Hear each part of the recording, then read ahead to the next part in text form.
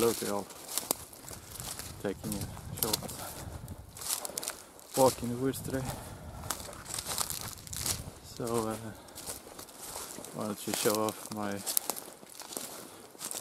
new clothing item. Have it around my neck. And uh, that's the reason why it is a bit big and bulky. I'm gonna show the real real uses for it. I've I'm a big fan of uh, Mors Kochanski and um, he have something he called his uh, survival scarf, multi-purpose scarf. It was a big tube of uh, uh, parachute fabric, silk, and I could use it in many different ways. And uh, I'm gonna show this item. It has uh, similar uses. So stick around.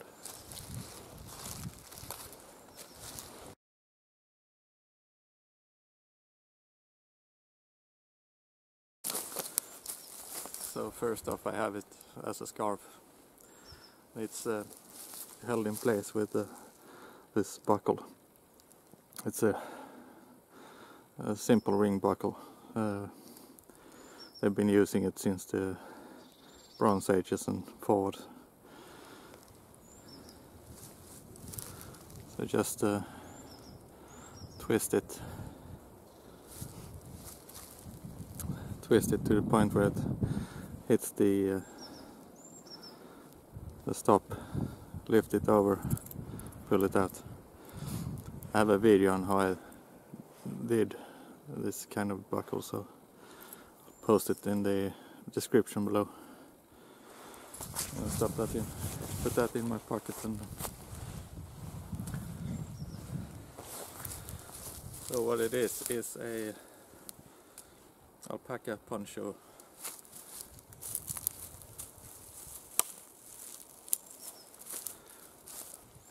It's an alpaca poncho from Bolivia. It's made by this company.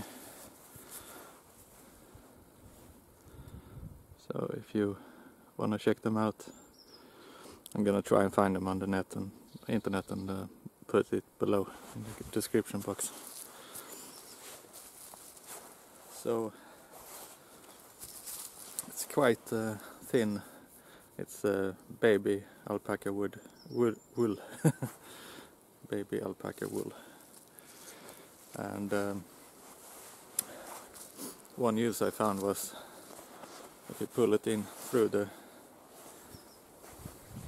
through the opening, you create a hood.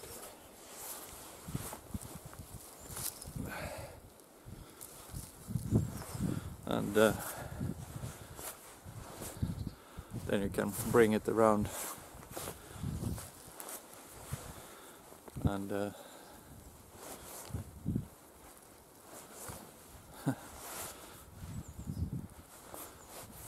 throw it over. You can secure it with the secure it with the buckle as well of the uh,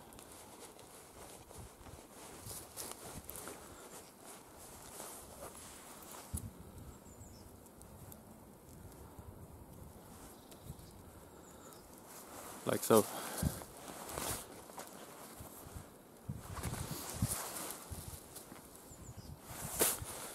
So uh, it has many uses and uh, I often have uh, an oversized coat. I don't like uh, tight clothes.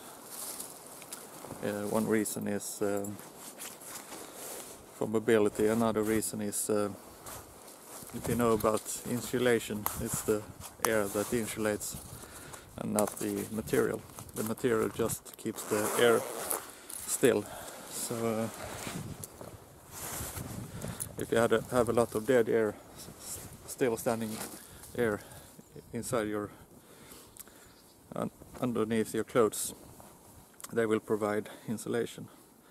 And if you have enough Um, if you have enough uh, air, you don't sweat as easy and you uh, keep a more steady temperature.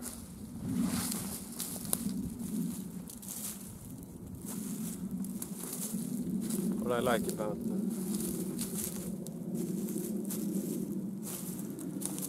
what I like about this poncho is that it's uh, slightly asymmetrical, so it's a bit shorter in front than it is in the back.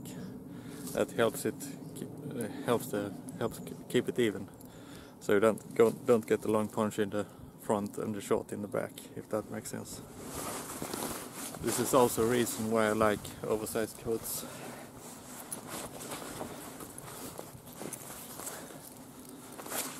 Can put the poncho inside to get another another layer to keep the air still and uh, a bit more loft. So uh,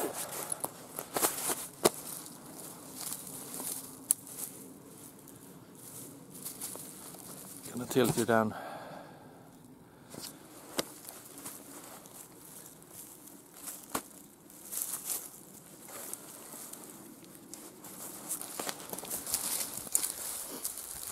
Gonna go over a couple of more uh, techniques you can use with it, with a poncho.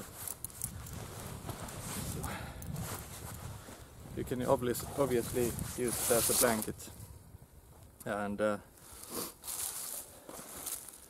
you can uh, wear, wear, wear it as a sash.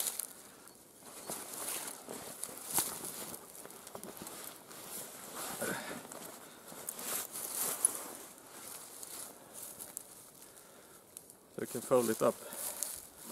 I've got it doubled up. Hard to see, but got it doubled up, and as you know, there's a whole things are gonna drop out. But I can take my jacket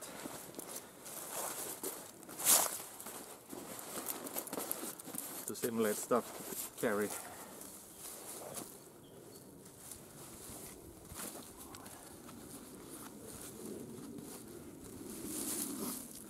Can fold it up into the sash. Give it a couple of twists.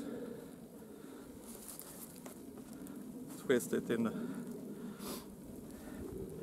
alternate directions so you don't get a so you don't get it to spin around.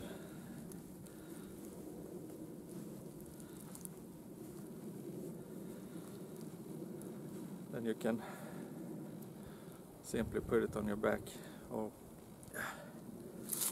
ball of your back.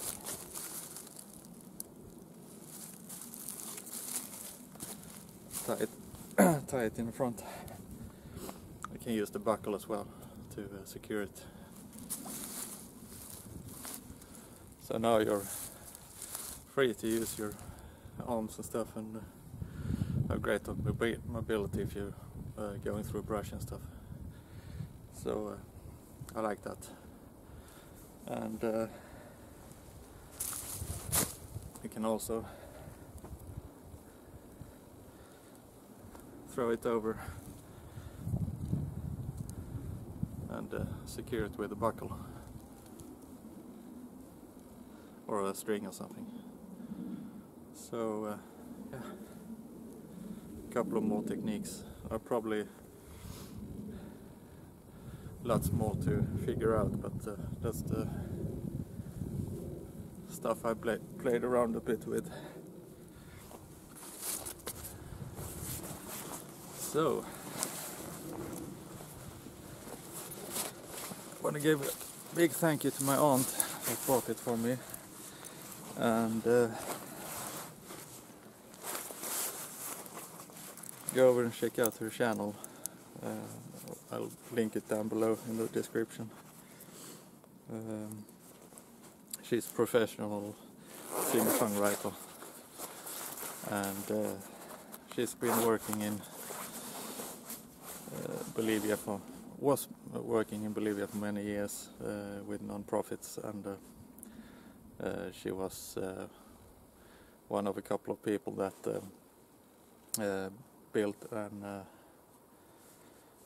daycare center and uh, they financed it by making a pig farm as well and it's still going today. Uh, so it was up in Pampahasi. And she got married and got a uh, they got a daughter Tanya. So she has family in Bolivia so she goes back and visits now and again and uh, yeah she uh, she was in uh, Bolivian Bolivian TV uh, last time she was visiting. Uh, it was the last of this year beginning uh, last of uh, 2020 uh, and the beginning of 2023 so me and my brother got hold of her and uh, asked if she could uh, buy us a couple of ponchos. And uh, she did. There was uh, we bought uh, three and uh, one made its way up to uh, Värmland to a friend of mine that has ever since I brought my 33 year old poncho on one of our canoeing trips he has wanted one. So he got one in the end. Uh, head over to our channel and, and say hello from me and I, that will mean a lot to me so thank you for watching and see you in the next one. Bye